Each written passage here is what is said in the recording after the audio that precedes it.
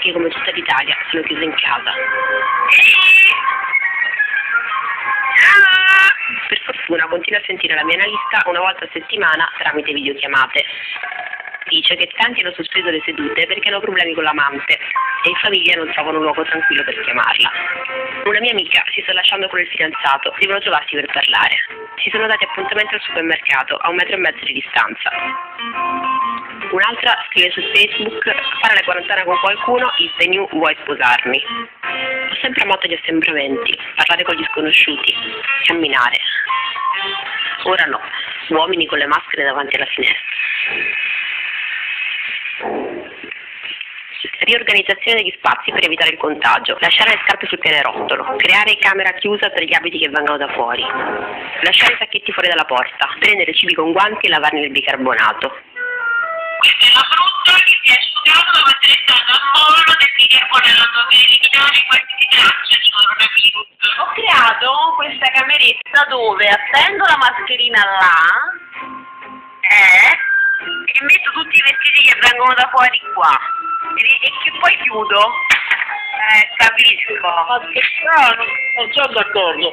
La mascherina non la puoi mettere nello stesso posto dove ci sono i vestiti. Mio padre, che dice di fare sorniona nasconde altre competenze in campo giuridico-ambientale, Eh, io ci metterei anche una, una molletta, l'assicurerei con una molletta. mi ha spedito quest'ottima mascherina per posta, perché lui aveva già capito tutto molto È fa vero, non lo famo. e aveva preventivamente acquistato uno stock di mascherine per tutta la famiglia. Un po' secondo me ma voi di testa. Io almeno non cioè,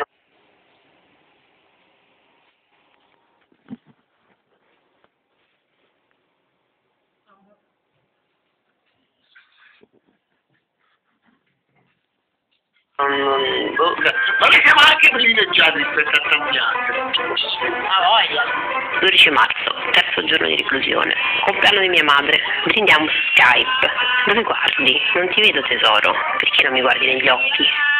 Ma poi ci rendiamo conto che il contatto visivo è possibile. Perché o guardi l'altro o guardi la lucetta della camera.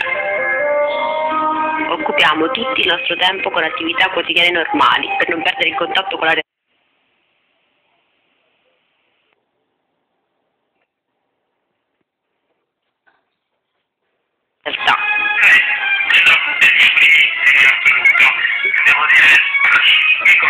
Pr- Prima di tutto dipende se puoi fare la doppia impanatura o quella semplice.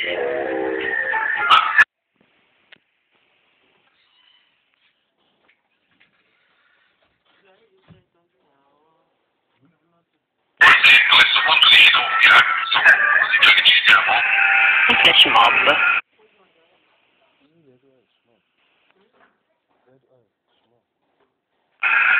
Il primo è emozionante. Una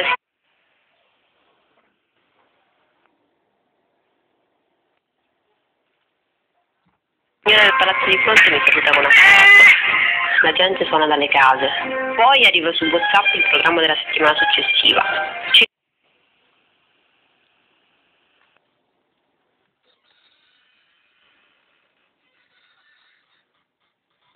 Lista delle canzoni discutibile. La spontaneità finisce, si fa sistema e non emoziona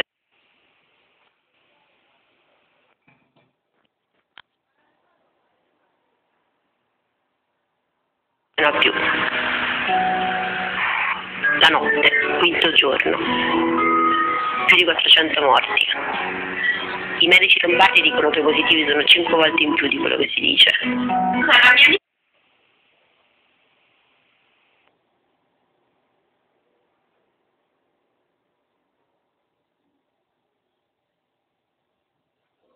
mi ha scritto perché ci sono tutti questi elicotteri, qualcuno lo sa? Eh boh, allora però è strano perché è veramente stanchi. Alle 4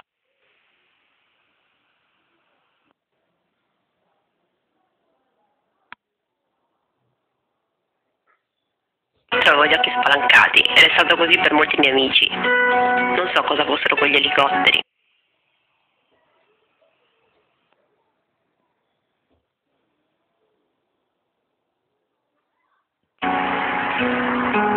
Prima volta in vita mia sento aria di guerra.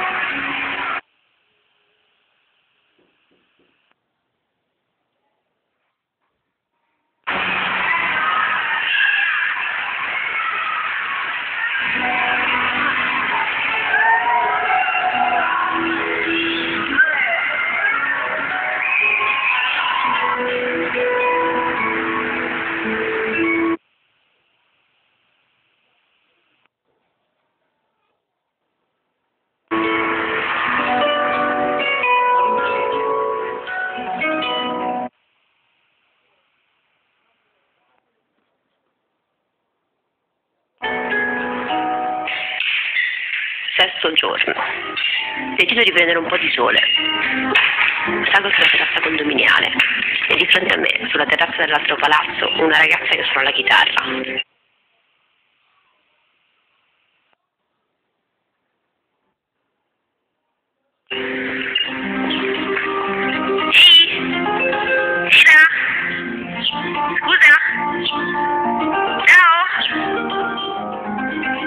Come me, ha la mia età, e si è ricreato un salotto sulla terrazza con la sua gatta pata. È stata una bella novità. Hai gran sogno se vogliamo! Buona! guarda lì quanto si sono organizzati, oh.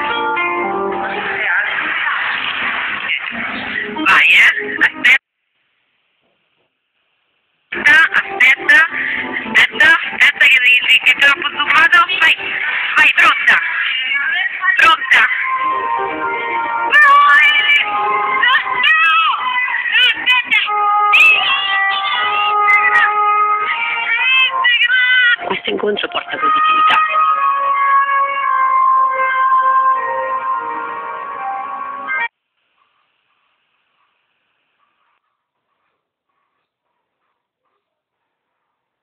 Comportarsi sulle terrazze è bello.